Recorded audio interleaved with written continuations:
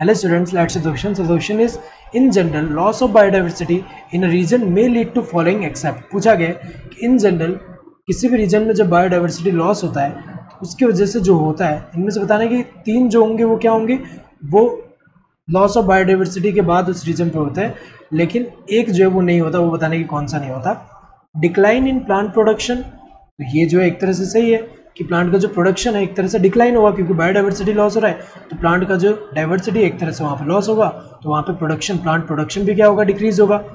Lowered resistance to environmental perturbation such as drought ये correct है कि जो स्ट्रेस वाले कंडीशन होंगे, जैसे कि ड्रॉट हुआ, इन सब के लिए जो ऑर्गेनिज्म होंगे, वो इतना ज़्यादा रेजिस्टेंट नहीं हो पाएँगे उस टाइम पे।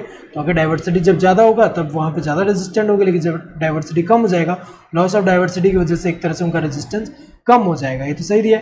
Increase variability in certain ecosystem processes such as plant productivity water use and pest and disease cycle ये करेक्ट दिया हुआ है कि यहाँ पे जो है, जैसे ही बायोडाइवर्सिटी लॉस होगा तो अफेक्ट क्या होगा? एक तो जैसे प्लांट प्रोडक्टिविटी है, वो अफेक्ट हो रहा है, वहाँ पे वेरिएशन देखने को मिलेगा कि डाउन हो जाएगा डिक्रीज हो जाएगा।